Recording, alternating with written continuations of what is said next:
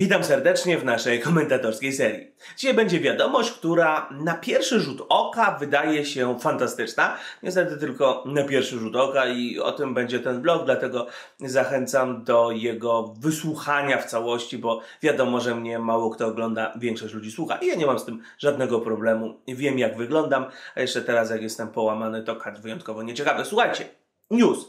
News jest taki, że Polska weźmie udział w działaniach zbrojnych, które mają zniszczyć ISIS. Super, nie? Na pierwszy rzut oka tak, no bo to znaczy, że kolejna potęga wreszcie się za to bierze. Przypominam taki mój vlog e, Rosja, e, Turcja versus Stany Zjednoczone, a NATO i Stany Zjednoczone to na pewnym poziomie uogólnienia i uproszczenia można traktować jako jedno. O co tam chodzi w Syrii i tak dalej, i tak dalej, i tak dalej. A, a ISIS tam jest bardzo mocne, w związku z... I, i nam tłumaczę o co chodzi w tym konflikcie.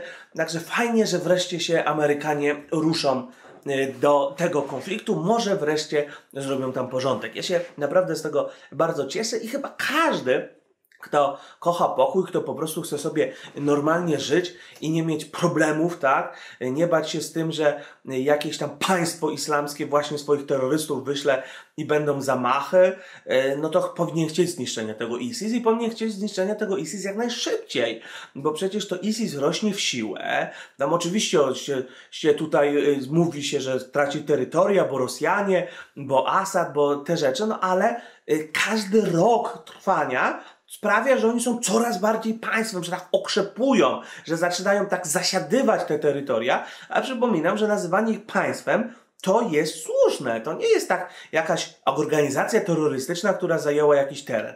Oni są państwem, pobierają podatki, mają swoje granice, których są w stanie chronić, lepiej, gorzej, są państwem w stanie wojny, więc te granice się przesuwają, ale są państwem, pobierają podatki, mają autentyczną armię. To nie są jakieś tam dzikusy z kałachami, yy, czy, czy z bombami, które tam krzyczą sobie, wiadomo co krzyczą i się wysadzają. Nie! Na ich terenie normalnie jeżdżą czołgi. Nic, I jest basa za, za, za na to, to zdjęć. Nic nie wiadomo, przynajmniej ja nic nie wiem o tym, żeby mieli swoje lotnictwo. Może dlatego, że wykształcenie pilota jest jednak dużo trudniejsze niż wykształcenie kierowcy czołgu.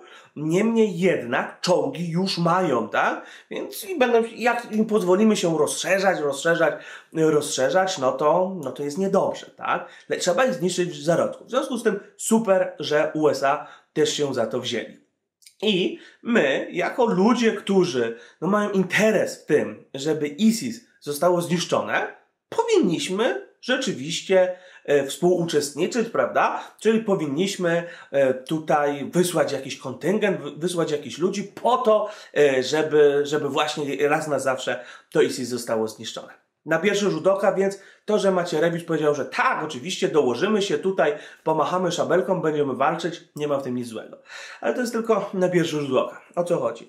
No bo niestety pan minister Macierewicz, którego ja nawet darzę szacunkiem, głównie za jego przeszłość, za to, że o nim można powiedzieć wiele złych rzeczy, ale wygląda na to, że to jest człowiek, który naprawdę chce dobrze dla Polski, tylko mu nie zawsze wychodzi. No, wygląda na to, że teraz mu nie wyszło po raz kolejny, e, ponieważ znowu, mm, no nie odrobił po prostu lekcji, tak? Nie odrobił lekcji z tego, jak trzeba prowadzić politykę zagraniczną względem Stanów Zjednoczonych. Przypominam, że mm, my mamy teraz 2016, niepodlegli od Związku Radzieckiego jesteśmy od 89, czyli 11, 27 lat, nie? I przez te 27 lat powinniśmy się wreszcie nauczyć, że Amerykanie to są twardzi gracze, którzy przede wszystkim kłamią. E, przypominam o Iraku, tak, e, że do Iraku weszła koalicja, w tym mówię o drugim, za, za drugim razem, gdy wchodziliśmy do Iraku. E, znaczy, gdy koalicja wchodziła do Iraku i, i wtedy też była Polska, tak? Tam chyba był nawet międzynarodowy kontyngent, w którym Polska przez jakiś czas rządziła takie klimaty, tak? No i wtedy Amerykanie oszukali, że Hussein ma broń e, masowego rażenia, tak? Tej broni nie było, a Amerykanie się wycofali i teraz nam wmawiają, że stabilizowanie państw arabskich to jest nasza wina. Oni kłamią. Amerykanie kłamią. Jak muszą, to kłamią. Amerykanie też stosują taką e, bardzo mm, cyniczną e, postawę. O tym będzie dzisiaj troszeczkę więcej w Plociuchu razem z Wąskim, który dość dobrze zna Stany Zjednoczone, często tam bywa. e, mają taką swoistą postawę, że o, ty jesteś naszym wielkim sojusznikiem, Johnny, chodź tutaj, sojusznikiem jesteś super, stary, wyślij wojsko. E, dobrze, dobrze, wysyłam wojsko. No, a później się okazuje, dobra, wysłałeś wojsko, super, super, super, no to spadaj. E, oni tak robią, tak? Amerykanie nie umieją okazać wdzięczności. Amerykanie znają bowiem starą, dobrą zasadę, e, którą Anglicy mówią, że w polityce międzynarodowej nie ma, nie ma uczuć, nie ma tego, że ktoś kogoś lubi, są tylko interesy. W związku z tym, jak Amerykanie mają swój interes, to mówią, my chcemy tego i tego. I wtedy trzeba im powiedzieć twardo, że misie, jak wy chcecie tego i tego, to najpierw dajcie nam to, to i to, czego my chcemy, bo jak nie, to nie dostaniecie. I tak się mniej więcej rozmawia z Amerykanami. Nawet ja wiem, że tak się z nimi rozmawia, a, ja, a minister spraw zagranicznych wydaje się, że nie. Dlaczego? Ponieważ minister spraw zagranicznych już się zgodził wysłać nasze e, wojska, żeby walczyły z ISIS i teraz zapowiedział, że dzięki temu, że E, zgodził się wysłać nasze wojska, żeby niszczyły. ISIS i wszystko jedno, bo tam się mówi, że to będzie głównie rozpoznanie i szkolenie, e, i szkolenie, tak? Nieważne jakie wyślę wojsko, no, rozpoznanie co to jest, no, albo zwiad elektroniczny, tak, e, czy, a, ale to już jest wojsko, albo grom lub inne tego typu jednostki, no to, to są jednostki specjalne służą do rozpoznania, tak, a szkolenie to co to jest? No, wyślę naszych żołnierzy po to, żeby szkolili miejscowych, tak, to jest wysłanie naszych żołnierzy, wszystko jedno, czy to będą jednostki jakieś tam bardziej frontowe, czy jakieś takie bardziej specjalne, wyślę naszych żołnierzy. I ISIS to sobie zapamięta. Także już zapowiedział, że wyśle naszych żołnierzy. I teraz mówi, że oczekuje, że w zamian za to dostanie od Stanów Zjednoczonych i NATO wsparcie y, na terenie wschodniej flanki, y, bo y, trwałą i stałą obecność. Mówiąc krótko, Macierewicz tak, już się zgodził i liczy, że na zasadzie wzajemności coś od Amerykanów dostanie, to, że po prostu będą tutaj stacjonowały ich wojska. Ja już mówiłem wiele razy yy, na naszym blogu, że niestety zasada wzajemności przestała działać. Ona nawet przestała działać w stosunkach międzyludzkich. Zasada wzajemności to jest opisana w psychologii, jeszcze w książkach do biznesu. Jak ja się uczyłem, byłem na Wydziale Zarządzania Uniwersytetu Warszawskiego w latach 2000-2005, e, to właśnie nam tłumaczono, że zasada wzajemności działa tak, że dajesz coś komuś, i ten ktoś chce ci się odwdzięczyć i też ci coś daje. Że to jest fajne na przykład przy sprzedaży. Chcesz komuś coś sprzedać, to na początku daj mu jakiś drobiazg, będzie ci wdzięczny, prędzej coś od ciebie kupi. Mm, to już nie działa. To już nawet nie działa w stosunkach międzyludzkich. Przez to na przykład Stonoga miał takie problemy, e, że tak się wkurzył, bo on e, uważał, uważał, że dużo ludziom dał, nie jest czy dał, czy nie dał, uważał, że dużo ludziom dał, a ludzie mu się nie odwdzięczyli. Nie poszli, nie zagłosowali na niego, stonoga się wkurzył. No nie jest to, że bronię stonogi, bo profesjonalista nie powinien się wkurzyć, niemniej jednak rozumiem go jako człowieka, że szlak go trafił, później przecież na nim psy wieszali, nie? E, taka, m, taka prawda, tak? No to nawet w stosunkach międzyludzkich m, zasada wzajemności nie działa, tym bardziej nie działa w stosunkach e, międzypaństwowych, w których po prostu liczą się cyniczne interesy i się kłamie, i się wprowadza w błąd, a później e, się, e, później się, no, szczerze robi, robi, robi z siebie idiotę, gra, robi dobrą minę i tak dalej, mówi, że to nie my, musieliśmy, bo coś tam, coś tam, no, tak to po prostu wygląda. Niestety nic się z tym nie zrobi. W związku z tym, sorry, ale pan Macierewicz popełnia ten sam błąd, który popełniał od dawna i znowu wyjdzie tak, że my nadstawimy głowę pod topór. Dlaczego postawimy głowę pod topór? To za chwilkę i gówno z tego dostaniemy, bo tylko nas Amerykanie e, poklepią. Tak, tak, tak, wyślijcie swoje wojska, a my później porozmawiamy. Tak, tak, tak, wyślijcie później, później, później. I później będzie tak jak z wizami do Stanów Zjednoczonych. Wiecie, te wizy to są nam naprawdę na dupę potrzebne. Nie chcą Amerykanie, żebyśmy wydawali u nich swoje pieniądze, to nie będziemy do nich jeździć, nie będziemy wydawać. Jako miejsce do pracy, do wyjazdów zarobkowych już dawno Stany Zjednoczone przestały być jakieś super atrakcyjne, nie? E, trudno, nie chcą naszych pieniędzy, nie będziemy tam jeździć. Ja tak wychodzę z, tak, z takiego założenia, ale oni i tak nas tym mamią i żeby było śmiesznie, oni wiedzą, że to jest tylko obłuda, że to jest tylko mama, bo e, przecież oni mają taki twardy system, że musi tam być ileś wniosków o wizę zaakceptowane, chyba 97%. W związku z tym może taki kraj dostać ruch bezwizowy. I tyle. A prawo w tym zakresie zmienia kongres. W związku z tym Amery amerykański prezydent gówno ma do gadania, tylko nam gada, bo wie, że my tego chcemy, a w zasadzie nasi politycy nam gada, tak, tak, dostaniesz, dostaniesz, dostaniesz. Na świętego dygdy, co go nie ma nigdy, nie? Także gówno dostaniemy, a prawidłowa odpowiedź powinna być taka. Słuchaj to, wujku sam jest taka sprawa. Ty chcesz, żebym wysłał tam swoje wojska y, do tej Syrii, może znowu, nie daj Boże, do tego Iraku, z którego niedawno to żeśmy tam wyszli, bo tam spieprzyliście strasznie, kurde, okłamaliście nas. Te dane wywiadowcze były nieprawdziwe, teraz wszyscy się z nas śmieją, mówią, że jesteśmy coś winni tym Irakijczykom, temu całemu światu arabskiemu i że mamy tych uchodźców przyjmować, bo żeśmy rzekomo destabilizowali ten świat arabski, a to ty żeś nas oszukał, to ty nam powiedziałeś. Byłeś, oszukałeś nas, wiesz? I teraz co? Mm, widzisz, ty chcesz, żebym ja swoje wojska tam znowu wysłał, tylko wiesz, ja mam problem. Bo ja mam coś takiego, co się nazywa wschodnia flanka i na, tej wschodniej flance to mam miszę, yy, czyli takiego go, go niedźwiedzia rosyjskiego. No wiadomo o co chodzi. No o Władimira chodzi, o Putina, nie? No i ja się boję, że ten Putin się ruszy, nie?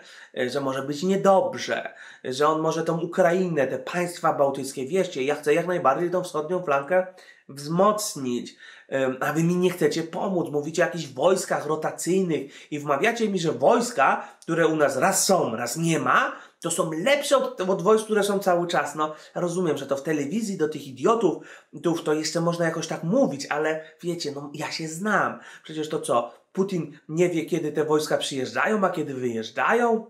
to co, nie zaatakuje wtedy, kiedy ich nie będzie? No panie, puknij się. Także to już, skoro już wiemy, że, że te rotacyjne są do dupy, to, to proszę nas nie obrażaj tym, że to fajnie, bo, wojsk, bo żołnierze będą przyzwyczajeni, że w różnych miejscach. No jasne.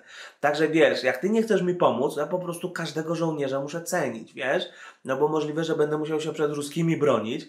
Tam ten, ten, ten, ten, ten, ten nasz sojusz zakłada, że muszę się ileś dni sam obronić, później cholera wie, przyślecie, albo będzie tak jak w 39, że wypowiecie i, i, i tyle, nie? Więc mi każdy żołnierz, każdy czołg, każdy dron, y, każdy, nawet racja żywnościowa jest na wagę złota. To zróbmy tak, wujku sam. Wy nam tutaj dajcie na stałe swoje wojsko. I to nie tam powiedzcie, że przyślecie. Przyślijcie. Jak oni już tutaj będą, jak nasi obywatele, Polacy, będą się czuć bezpieczni od tej Rosji, to my wtedy wyślemy swoje wojsko do, do walki z ISIS. Dobra, może tak być? No, no, może, może, może. I jak się tak zgodzą, no to wtedy okej. Okay. Co wtedy zyskujemy? Przede wszystkim zyskujemy, że oni już tu będą, a to zawsze trudniej jest odwołać wojsko, które już fizycznie jest, niż powiedzieć, dobra, z jakiegoś powodu nie będzie, tak? A już ile razy odwoływali, tak? Miała być jakaś tarcza antyrakietowa, jakieś inne tego typu rzeczy, tak? I E, I tyle, tak? E, I, i, I, po prostu nie powinniśmy, bo prawda jest taka, że znowu chcą nas wysłać na, na nie naszą wojnę. Dlaczego na nie naszą wojnę? Bo ISIS w tej chwili Polsce zagraża tylko teoretycznie. E, przede wszystkim, i tutaj oczywiście się narażę lewactwu, ale w Polsce nie ma dużej mniejszości muzułmańskiej, a jak wiemy po zamachach ostatnich w Paryżu, to duża mniejszość muzułmańska bardzo dodatnie wpływa na możliwość zamachu. Pamiętacie, jak było zaraz czesanko y, tam w Paryżu, w Belgii, zaraz po tych zamachach, jak się okazało, że jest taka specjalna, y, wręcz eksterytorialna dzielnica muzułmańska, do której policja w zasadzie bała się wejść i w której ci terroryści dostawali wsparcie, no to u nas takiej nie ma i oby, y, oby nigdy nie było, oby ci y, muzułmanie, których do nas się sprowadzi, oby się dobrze zasymilowali, oby byli tacy jak polscy, ta, y, polscy Tatarzy. Też muzułmanie, ale Polacy z krwi i kości, prawda? Porządni polscy patrioci i to Krzyś co jakiś czas powtarza, żeby czasem ktoś w gorącej wodzie kąpany nie próbował coś tym ludziom złego powiedzieć. Oni chodzą do meczetu, ale są Polacy, kochają nasz kraj, zintegrowali się, prawda? E, I, I nigdy Polski e, nie zdradzili, z tego co wiem, prawda? Nasi, polscy Tatarzy. Że także, no, pu, pu, my nie mamy z tym problemu, bo jak na razie ci ISIS, e, no to właśnie w Polsce zamachów nie robią, prawda? Druga rzecz jest taka, że oni mm, paradoksalnie nas szanują. To znaczy inaczej, najmniej nas nie nienawidzą, wiecie? Bo to jak nawet jak się ogląda filmiki, czy rozmawia, mm, znaczy ja akurat mało mam do czynienia z rozmowami, ale nawet jak się rozmawia z muzułmanami takimi niehardkorowymi, to muzułmanin ma coś sobie takiego, że nie szanuje ludzi niewierzących. I paradoksalnie muzułmaninowi bliżej do katolika niż do niedowierzącego, bo on on tak bardzo pogardza tym niewierzącym, tak? A mm, tego chrześcijanina to inaczej. Chrześcijan to przynajmniej coś, w coś wierzy, nie jest taki zdegenerowany według muzułmanina, więc my na tle tej Europy jesteśmy mniej zdegenerowani, więc oni mają mniejsze takie pobudki ideologiczne do tego, żeby nam zrobić zamach. E, Bach, bo po prostu my, my dla nich jesteśmy mniej obleśni, mówiąc krótko, tak? Mówię dla tych islamistów, tak?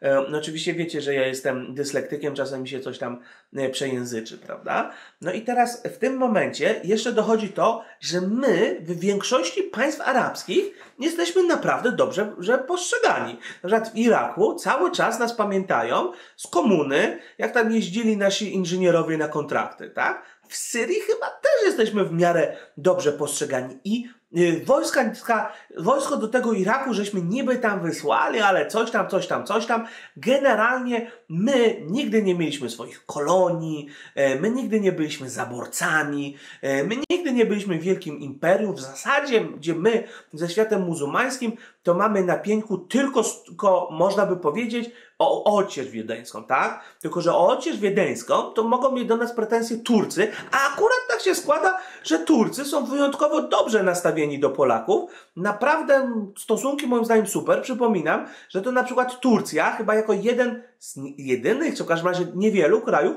nie uznał rozbiorów Polski tak? I Turków też, też, też, też, też nigdy, nigdy nie było, było żadnego problemu. Tak naprawdę Turcy w ogóle, Turcy nie mają problemu. Wiecie, to też jest bardzo ważne, żeby nie porównywać Turka do Araba. E, ten ekstremistyczny e, islam, który, a, e, a turecki islam, to są dwa różne islamy, tak?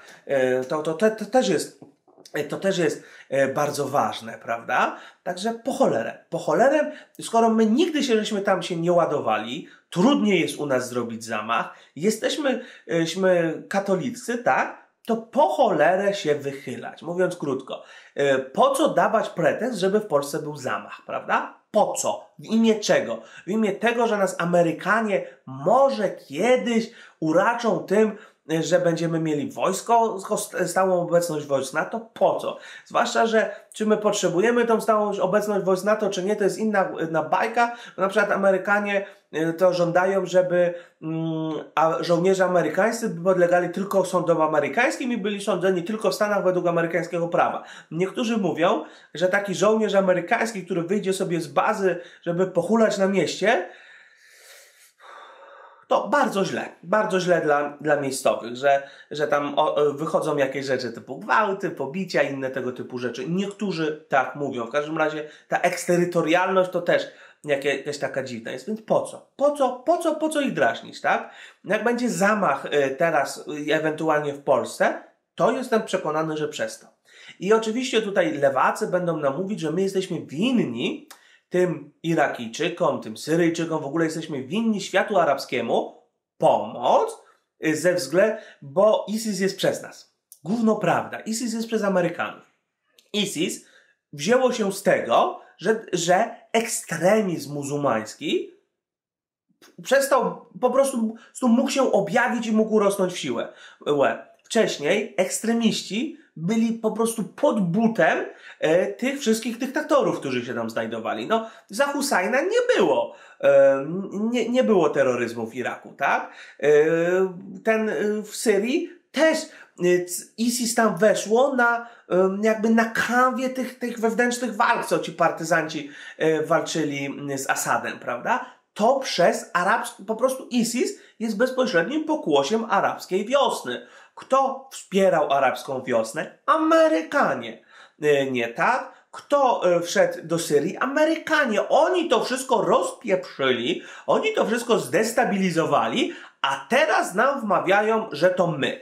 I jedyne, co mogą nam zarzucić, to jest to, że byliśmy w Iraku, nie? Ale to jest takie gadanie do dupy, bo przecież byliśmy w Iraku, ponieważ nam powiedziano, że Irak ma broń masowego rażenia. Oszukano nas.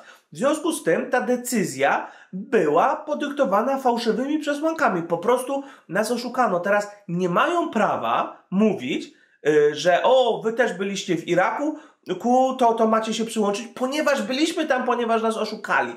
Jasne, że możliwe, że wtedy rządzący nami zrobili to ze złych pobudek, że liczyli na jakieś kontrakty dla naszych firm, może liczyli, że Polska stanie, e, będzie potentatem w handlu ropą, może nawet zajmiemy jakieś pola roponośne. Pewnie zrobili to z pazerności, tak? Ale równie prawdopodobne jest, że zostali przekupieni. Pamiętacie o tym tajnym więzieniu CIA, gdzie podobno CIA, czyli Amerykanie, zapłacili właśnie nawet do końca nie wiadomo komu w Polsce jakieś gigantyczne pieniądze. Te pieniądze podobno przyjechały w walizkach, nigdzie nie zostały odnotowane księgowo, czyli jak się nazywa taka sytuacja, jak y, tajne służby jednego kraju przywożą pieniądze w walizkach dla polityków czy służb drugiego kraju i te pieniądze nigdy nie trafiają do budżetu. To się nazywa łapówka. To skoro tam za więzienie CIA e, mogły, mogło być e, mogłaby, mogła być łapówka, to czy tutaj za to, że żeśmy weszli do tego Iraku nie mogło być łapówki? Mogło być łapówki. Zobaczcie, teraz to się tak strasznie się przypomina. Pamiętacie, jak Leper mówił o tajnym więzieniu CIA w Klewkach? I teraz przypominam, że dziwne to takie, nie? To przypominam, miałem takiego vloga a propos Tonogi, który coś tam ujawniał a propos e, tego, jak Lepera zabili i tak dalej. Obejrzyjcie sobie tego vloga. Tak jak do Stonogi można mieć wiele zarzutów, naprawdę wiele zarzutów, bo on bardzo często pierdzieli bez sensu, ale czasem mówi naprawdę z sensem, nie? No i tak, także sorry, my nie jesteśmy tym ludziom nic winni. Nic. My jesteśmy im winni tylko taką zwykłą, normalną, ludzką pomoc dla człowieka, który potrzebuje pomocy, tak? Przy czym e, ta pomoc nie może nam, no też jest warunkowa, tak? Jak, jak masz, jak płyniesz na przykład pontonem, prawda? I masz, i masz sześciosobowy ponton, i w tym sześciosobowym pontonie płynie pięć osób i zobaczysz człowieka, który się topi, no to jesteś gnojem. I go nie wpuścisz, to jesteś gnojem, bo yy, mogłeś go, nic nie ryzykowałeś, nic nie traciłeś, a nie uratowałeś człowieka, jesteś gnojem. Ale jeżeli masz sześciosobowy ponton, w którym płynie 20 osób i wiesz, że jak do tego pontonu wejdzie yy, 21 osoba, to cały ponton szlak trafi wszyscy i wszyscy yy, się utopią, no to niestety, ale nie wpuszczenie tej kolejnej osoby jest racjonalne. I teraz tak, y, skoro y, wiemy, że służby sobie nie radzą, y, z weryfikacją tego wśród tych uchodźców tych imigrantów udających uchodźców, czy ilu jest wojowników państwa islamskiego, no to wiecie, nawet na serialach widać, nie? Jak biegnie taka grupa ludzi, jest zamknięty teren, biegnie grupa ludzi i za tą grupą ludzi biegną zombie, nie? E, no to w momencie, w którym wiadomo, że jak z tą grupą ludzi wejdą zombie do pomieszczenia, to niestety nikt tej grupy ludzi nie wpuszcza, bo mniejszym złom jest to, jak ci ludzie niestety im się coś strasznego stanie, co jest złe i tak nie powinno być, niż jak oni tam wejdą i zginą wszyscy w środku, nie?